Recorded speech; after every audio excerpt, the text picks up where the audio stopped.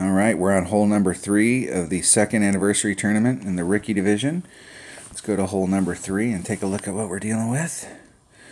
Remind ourselves what the hole is. Okay, we're coming at this over here with a rock, a sniper, and a kingmaker. Our goal is to get up into the front here. We're using maximum left-hand side spin, one backspin on our rock. And then we're going to come at it with our sniper and we're going to do a 1.1 per ring adjustment with the sniper. Alright, let's go back into the game. Let's make sure we got a our rock bag. Okay, so we have a quarterback here. 221. That will be the one. And the only reason we're it's this the the choice here is simple. Whichever one of these has the most distance, that's the one you're going to go with. So if yours are at a point where your rock has got more distance than your quarterback, you're going to use your rock. More than likely, you're going to end up using your quarterback. And with the shot, you'll have to apply just a little teeny bit of overpower or leave a little teeny bit of wind in. Okay, so we've got a uh, Guardian. We got a sniper and a rock.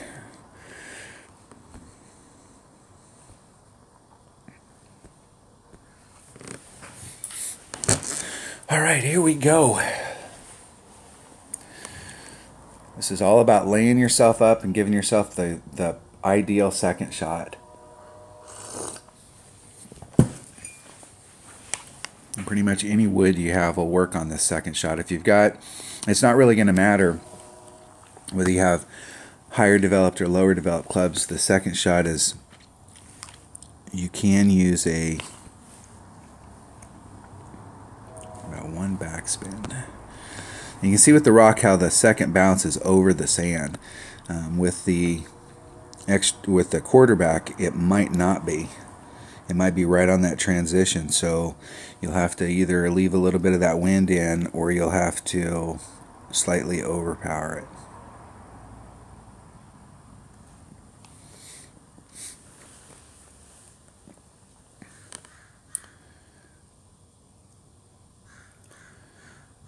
You can see there's like a little depression right here in the course.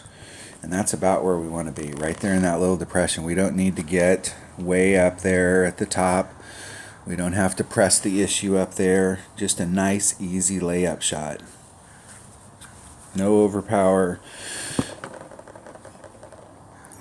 No risky stuff. You'll notice that I was way off from the fringe. I left myself three rings off the fringe.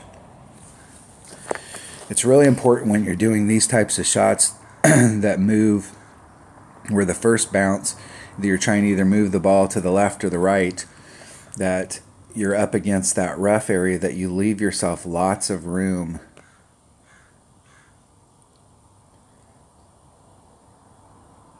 I see a lot of people hit that shot or hit shots just like that. And they end up pinching right up against the cut between the rough and the fairway. And then if anything happens and they hit a great shot, especially if it's on that same side, bam, they're in the rough. And you just ruined it. We want to go right at it.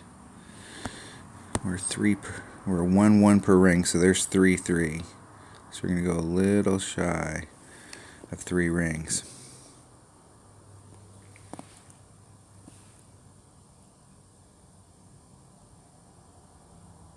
Well, we hit it great to the right.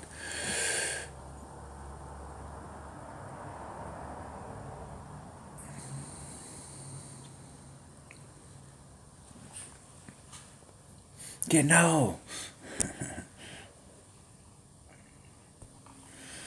Our opponent is in trouble.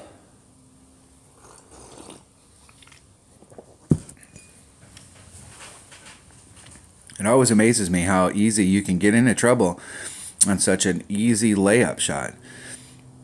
When you're scouting out these holes, you have to ask yourself, is this one of those drives that I got to get everything on? Like, wow, if I don't get all the way up there, I'm in big, big trouble. Or is it like, hey, I just need to get to this spot right here so that I can set myself up for that second shot? If it's a layup shot, man, you got to really bring bring good stuff. You're just bring stuff that'll ensure that you can get that layup shot done.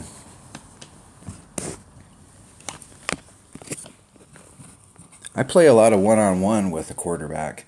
I play a lot of one-on-one with just a common bag, quarterback, sniper, Saturn, claw.